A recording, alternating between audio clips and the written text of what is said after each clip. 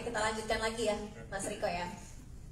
Mungkin kalau misalnya dari tadi apa yang survei disampaikan oleh Mas Riko dari sisi partai politik Selamat malam Tribuners, bersama saya Tria Wulandari. Inilah update berita terkini yang dilaporkan langsung reporter Tribun Network dari lapangan. rakyat uh, ke depannya. Ya, kita lihat tadi hasilnya 52 persen.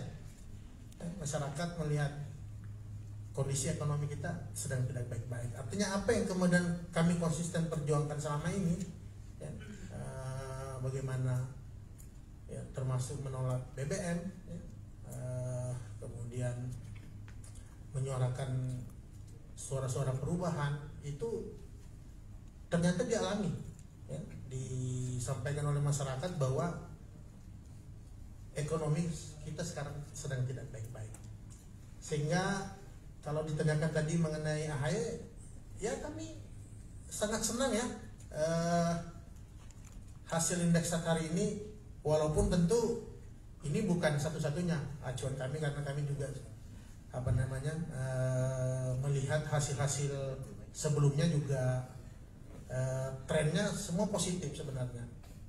Dari hasil indeks sebelumnya juga ini kita melihat ini hasilnya positif trennya terus naik kemudian tiga besar ya, eh, rata-rata tiga besar. Kemudian Demokrat dipilih oleh seluruh voters ya. Baik dari kelompok usia ya, kemudian dari desa pemilih di desa pemilih di kota.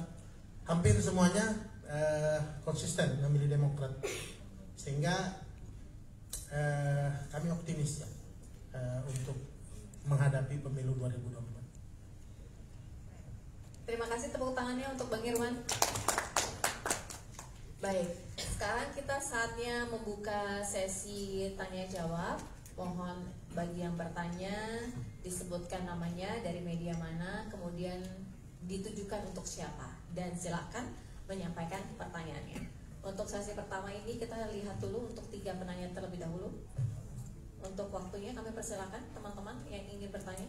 teman-teman hobinya doorstop biasanya.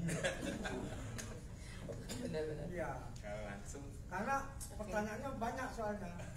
Lain- Kalau gitu satu satu ini ya satu narasumber diberikan kesempatan untuk satu penanya. Mungkin ada selain doorstop nanti. Belum ada yang mau bertanya? Atau jangan-jangan pertanyaan sudah diwakilkan tadi ya kurang lebih sama saya ya. Saya udah bertanya ya. Udah langsung ya Thank you.